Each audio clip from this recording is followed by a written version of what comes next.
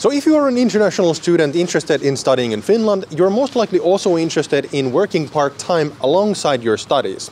But what kind of jobs are international students able to do in Finland while studying without any Finnish language skills? Well, in this video we're going to go through the best part-time jobs for international students that do not require any kind of Finnish language skills. What's up guys and welcome back to the channel, it's Oliver here and welcome back to the Aalto University campus here in Otaniemi and specifically to the Aalto University University School of Business right here behind me. Uh, this is actually where I graduated from a few years ago.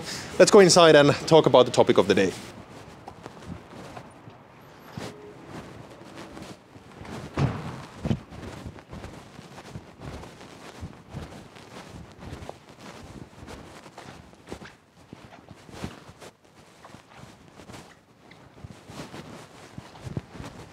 All right, so first, if you study at a university, you might be able to apply for exam guard duty.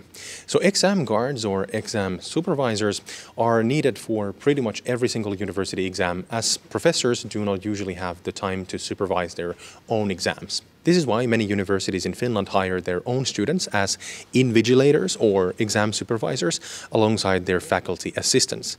Uh, the job is actually pretty simple. Uh, the exam supervisors are in charge of making sure that uh, the exam participants know how to conduct themselves and that there is no cheating or plagiarism. Uh, supervisors also assist exam participants with all kinds of exam related pr practicalities and safety, as well as make sure to identify every exam participant to make sure that only those allowed are participating participating in the exams. Uh, since university exams usually last for around three hours, the guard duty may last up to four and a half hours each time, but this will of course depend on the school and the exam in question. The pay will also vary quite heavily and you will need to check your university for more information. So to apply for exam guard duty, make sure to follow your university mailing lists for any updates or ask your professor about the right person to contact for more information. So next, there are a ton of great summer jobs available for students each year in their fields of study. Companies all across uh, Finland and all across all different kinds of fields offer summer jobs for students with all types of levels from junior positions all the way up to more senior associate positions. In addition to private companies and organizations, universities are also a great place to look for summer jobs as a student. These jobs can range from research assistant positions to marketing all the way to different administrative roles. So do note that most summer jobs in Finland are advertised from December to March or around April April. Uh, but to also know that many of these jobs go fast, so please do not leave your application to the last minute. Uh, you can find and apply for summer jobs from all kinds of job websites as well as from university career pages. I actually have a separate video listing all the best job websites in Finland that you can check out right here, so make sure to watch that video after finishing this first. All right, so next we have research course teaching or lab assistant jobs at your specific university. So depending on the university and uh, faculty in question, these kinds of part-time opportunities are usually available all around the year. And uh, university assistant jobs are some of the best part-time opportunities that you will have for a few reasons. Number one, they can support your own studies because you will get more hands-on experience in your field. Two, these jobs are located at the university, so they're, they're really easy to combine with your own studies. Three, universities usually pay pretty well considering the difficulty of the job.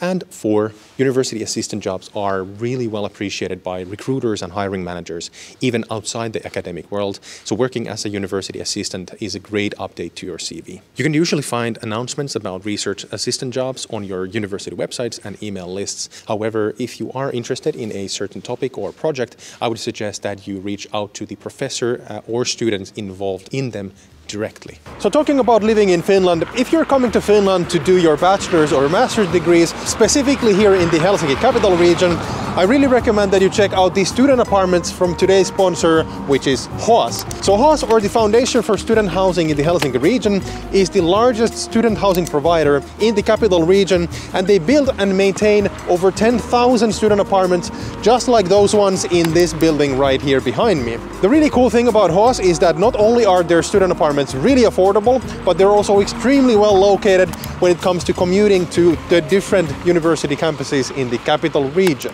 Case in point, this new student apartment building being built here in the Kalasatama district is going to be in a central location just 200 meters from the closest metro station. So this means that if you get to live in this apartment building when it's ready, it will take you only 10 to 30 minutes to commute to any of the big university campuses around the capital region. HOAS is continuously building new student apartments around the capital region, providing even more apartments for students like you.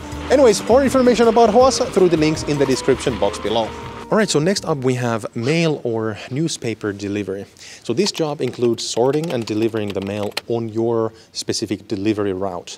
The job can be done either by car, delivery cart, bicycle, or with an electric scooter provided by the post or your employer. So this is a great job for anyone who is a morning person, as most shifts start either in the middle of the night or very early in the morning. Uh, for example, mail delivery at Posti starts by 6.30 a.m.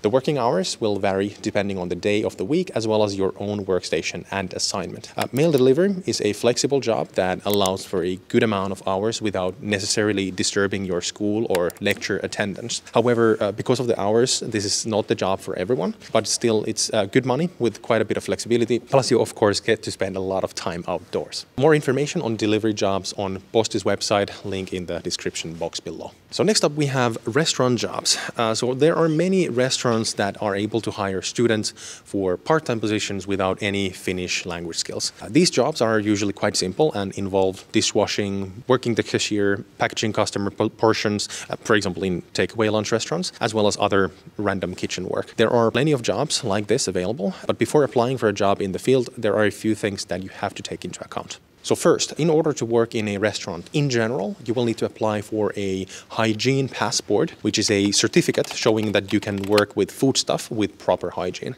It's a simple enough certificate to get and it should not be a problem for any of you. More information about hygiene passports through the links below. Second, while there are plenty of jobs available in restaurants, there are of course also plenty of spaces that do not hire people without Finnish language skills or a relevant degree. So for example, most fine dining restaurants and uh, more high higher end bars will require their staff to hold a proper degree in the food or hospitality fields, and uh, their staff consists of professional chefs, waiters, and bartenders with actual multi year degrees in the field. So, when applying for a job in the restaurant field, focus on the more daily restaurants like takeaway lunch restaurants or fast food places because these do not usually require you to have a degree in the hospitality or food industries to work. Also, one more thing to remember is that unfortunately, there are restaurant owners in Finland, you know, as well in, as in any other country, who are trying to A, exploit inexperienced workers by paying way too little per hour, or B, outright break the law by paying salaries in cash without ever paying the proper employer costs like pension or and social security payments. So please note that getting paid in cash is extremely rare in Finland and it's often tied to tax avoidance. So if someone offers to pay you in cash, your alarm bells should go off and uh, you have to make sure that everything is legit by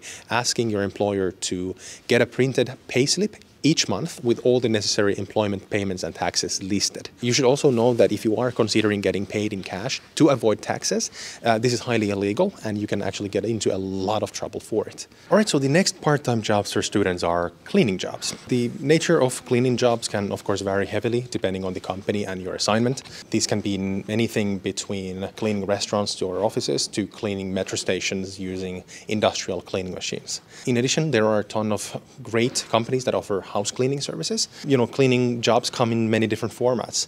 Uh, for example, my first ever summer job as a teenager was actually a cleaning job at the Finnish Parliament building. So that was, you know, really tough, but also quite nice and fancy. And it actually paid quite well. You can apply to work in a number of cleaning companies directly through their websites, and I have a few linked in the description box below. All right, so the next part-time job well suited for students is food delivery. So food delivery is pretty much the most popular part-time job among students because of their flexible working hours and uh, relatively high pay. So the most popular food delivery companies in Finland are Wolt, which is actually a Finnish company, as well as Foodora, and uh, both offer great opportunities for students who want to work according to their own schedule. Uh, do note that people people do food delivery in many different ways, and uh, while having a driver's license is a plus, I should note that owning a car is a big investment in Finland, especially for a food delivery job. In fact, depending on your car, your car payments, taxes, and gas might actually be more expensive than what you make from your job in food delivery. So please do the math before investing into a car in order to start delivering. Instead of a car, I would actually recommend that you consider getting a second-hand bike an electric scooter, a one wheel, or some other type of an electric vehicle that you can drive on bike lanes. There's actually a couple of reasons to invest into an electric vehicle instead of a car. Number one, they are much cheaper than a car. Two, you don't have to worry about parking. And three, they're actually usually much faster when delivering food in city centers compared to cars. Anyways, more information on Wolt's and Foodora's websites, links in the description box below. So next I have something a bit different, but also super exciting, which is becoming a blogger or vlogger for your university. So a ton of universities in Finland have recognized the value of having their own students share their study experiences on social media. So schools like Aalto University and uh, University of Oulu have started hiring their own students as bloggers and vloggers in order for them to share their own experiences and tips to new and prospective students. As a fun fact, this channel was actually originally sponsored by Aalto University, and I did collaborate with Aalto for quite many years while finishing my studies. As a disclaimer, I'm not affiliated with Aalto University anymore. The reason why I'm filming from the Aalto University campus nowadays is because we actually have our company offices here on the campus and it's just, you know, an easy way for me to film and show a bit more context for you guys. But again, I'm not affiliated with Aalto anymore. So not only was working with Aalto an awesome part-time job, but it also paid rather well while building this channel while also allowing me to learn a ton of valuable skills that have actually been extremely useful in my current career. So if you are interested in becoming a blogger or vlogger at your university, do contact your university marketing team or check the university career pages for such opportunities. Oh, and by the way, since you are interested in looking for a job in Finland, next I recommend that you check out this video where I show you all the best websites for job hunting in Finland. See you in the next one. Bye.